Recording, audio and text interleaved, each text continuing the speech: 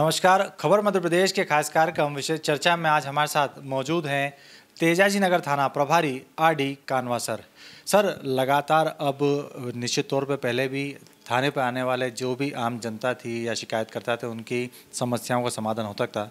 लेकिन अब कमिश्नरी सिस्टम लागू हो गया है। सबसे पहले यदि कोई शिकायत करता आता है तो थाने पर आता अपनी फरियाद लेके। उसको लेकर सर, किस तरह के नवाचार अब कमिश्नरी सिस्टम में किए गए थाना स्तर पर? नए तरीके से पूरे तरीके से सेटअप जमाया जा रहा है, जिसमें चूँकि पुलिस का कार्य बहुत बढ़ गया है कमिश्नरी के बाद से, पूर्व में पुलिस के पास अपराध नियंत्रण के लिए जो प्रतिबंधात्मक कार्रवाइयाँ, मुख्य रूप से जो प्रतिबंधात्मक कार्रवाई होती थी वह कार्रवाई मात्र न्यायालय में इस्तगासा या जिला बदर या एन प्रस्तुत करने तक की रहती थी, उसके बाद की कार्रवाई पुलिस की नहीं होती थी। जिसके कारण समय पर बाउंड ओवर की कार्रवाई न होने के कारण कई बार अपराध पर नियंत्रण ठीक तरीके से नहीं किया जाता था। उसी के उसमें कमिश्नरी लागू होने का जो सबसे बड़ा बेनिफिट है, वो आम जनता को मिलना है, क्योंकि आम जनता अपराध से सबसे ज़्यादा पीड़ित आम जनता है और छोटी छोटी जो क्राइम से संबंधित नॉन कॉग्निजेबल अफेंस से संबंधित जो शिकायतें होती थी, उसमें पुलिस सीधे कोई कार्रवाई नहीं कर पाती थी। आज हम उसमें इस तरह की कार्रवाई इस तरह का जो कार्य करते हैं, जो गलत तरीके से लोगों को अनावश्यक परेशान करने के लिए कानून से खेलने की कोशिश करते थे, उन पर जब प्रतिबंधात्मक कार्रवाई हम करेंगे और समय पर जब वो बाउंड ओवर होंगे, और बाउंड ओवर में उनको एक वार्निंग मिलती है कि आपने अगर इस अवधि में कोई अप्राइम किया है तो आपके विरुद्ध ये कार्रवाई की जाएगी।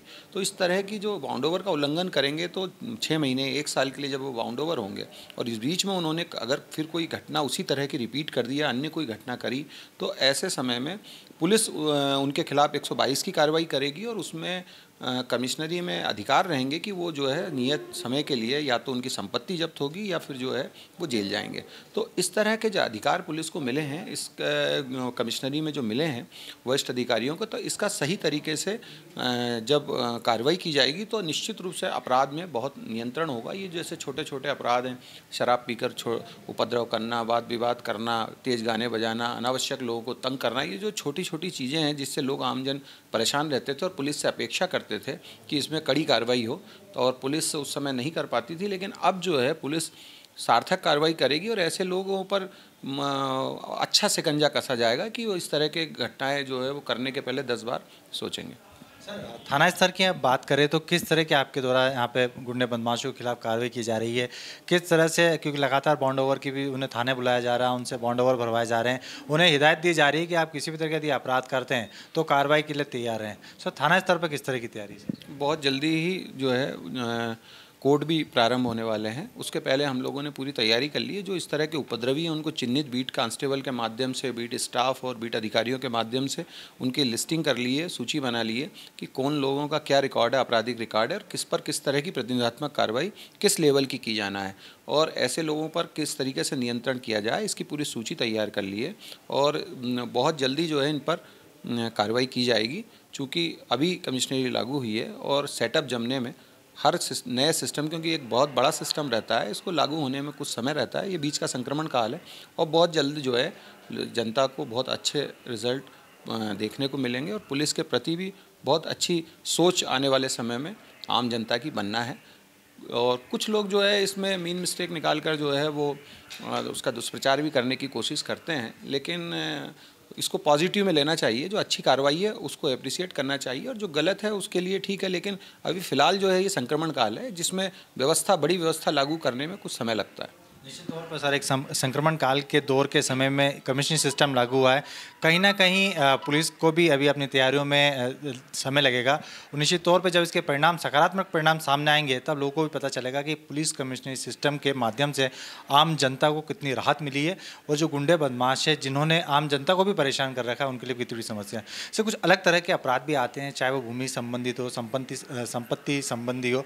उनको लेकर सर, किस तरह के निराकरण का प्लान किया संपत्ति संबंधी में तत्काल पुलिस जो है, जब हम निश्चित रूप से जो छोटे छोटे क्राइम है, जिसमें पुलिस को बहुत लंबा समय अपना देना पड़ता है और इस तरह के क्राइम के कारण हम अन्य मामलों पर कम ध्यान दे पाते हैं, क्योंकि हमारे पास कार्य का बोझ रहता है। निश्चित रूप से जब प्रतिनिधात्मक कार्रवाई सार्थक होगी तो निश्चित रूप से पुलिस इस तरह के मामलों पर ज़्यादा समय दे पाएगी और कारगर कार्रवाई कर पाएगी। सर, निश्चित तौर पर एक दौर पुलिस विभाग ने भी देखा जब कोरोना संक्रमण का दूसरा फ़ेज़ था। बड़ी संख्या में पुलिसकर्मी भी संक्रमित हुए थे। तेजाई नगर थाने में भी बहुत संक्रमित हुए थे। लेकिन जो हौसला था पुलिसकर्मियों का वो कम नहीं हुआ। लगातार संक्रमण के बीच में पुलिसिंग लॉ एंड ऑर्डर का पालन कराने के साथ ही एक सामाजिक साहूकारिता की बात भी सामने तमाम, क्योंकि आपका बाईपास लगता है, यहाँ पे बड़ी संख्या में आपके माध्यम से, आपकी टीम के माध्यम से आम जनता की सहायता भी की गई। उससे कहीं ना कहीं पुलिस की छवि में सुधार आया। वो काफ़ी अच्छी छवि है। आम जनता पुलिस पर भरोसा करती है।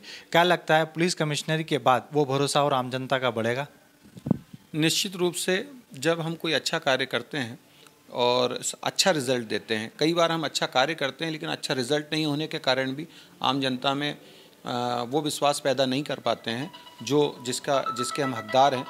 तो अब जब हम निश्चित रूप अच्छा रिज़ल्ट देंगे और अपने अधिकारों का सदुपयोग करके अच्छा रिज़ल्ट देंगे तो आम जनता ज़्यादा प्रभावित होगी, पुलिस को ज़्यादा सहयोग करेगी और ऐसे में मिलजुल कर पुलिस और आम जनता और भी जो मीडिया है और भी लोग हैं जो इसमें सपोर्ट करेंगे, वो निश्चित रूप से जो है अपराधियों पर नियंत्रण करेंगे तो उसका लाभ सबको होगा। निश्चित रूप से प्रत्येक व्यक्ति को जब अपराध नियंत्रण होता है तो प्रत्येक व्यक्ति को उसका फ़ायदा मिलता है। निश्चित तौर पर हमारे साथ थे तेज नगर थाना प्रभारी आर डी कानवा सर, जिन्होंने कहा कि पुलिस कमिश्नरी सिस्टम जो है, ये आम जनता की सहूलियत में है। वहीं गुंडे बदमाशों के खिलाफ इस पर कड़ी कार्रवाई की जाएगी। निश्चित तौर पर हम भी आपसे अपील करते हैं कि पुलिस प्रशासन अपना काम करता है, वहीं आम जनता की सहयोग की अपेक्षा भी करता है। आप यदि थाने तक आते हैं तो निश्चित तौर पर आपकी शिकायतों का निवारण होगा। कैमरा पर्सन गोल्डी के साथ जतिन ठाकुर, खबर मध्य प्रदेश, इंदौर। अगर आप ये खबर फेसबुक पर देख रहे हैं तो पेज को लाइक ज़रूर कीजिए। अगर आप ये खबर यूट्यूब पर देख रहे हैं तो चैनल को सब्सक्राइब ज़रूर करें। ताज़ा तरीन खबरों को देखने के लिए बेल आइकन को दबाना ना भूलें।